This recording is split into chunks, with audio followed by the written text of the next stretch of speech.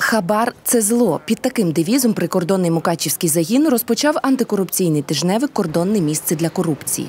Кожен е, громадянин е, має пам'ятати про те, що е, хабар це є злочин, і за нього неодмінно буде покарання.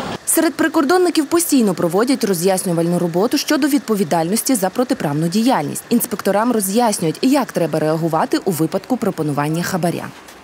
Е, У нас є чіткий алгоритм дій, по якому вони діють. Це все фіксується на фото, відео, викликається національна поліція, е, складаються документи і відповідно потім вже займається національна поліція даним громадянином. Для боротьби з хабарництвом на рубежі подорожуючим роздавали інформаційні флаєри про відповідальність за неправомірні дії та номери антикорупційних ліній.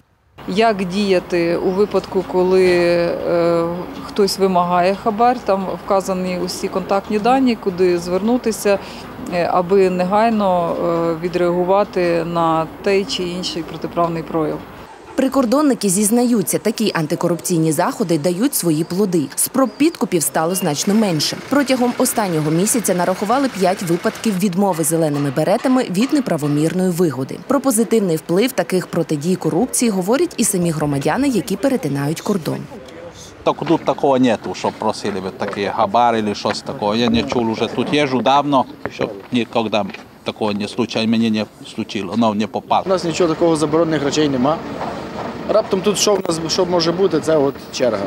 Нічого нікому не пропонуємо і нам не пропонують. Такі заходи здійснюються систематично і на всіх пунктах пропуску, говорять у прикордонній службі. Адже таке виховання антикорупційної моральності здатне підрубати корінь хабарництва і допомогти Україні вийти на шлях соціального прогресу.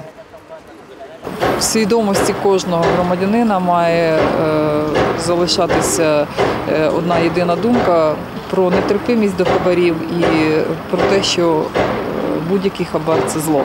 Дай Боже, щоб Україна була без корупції і без хабарів.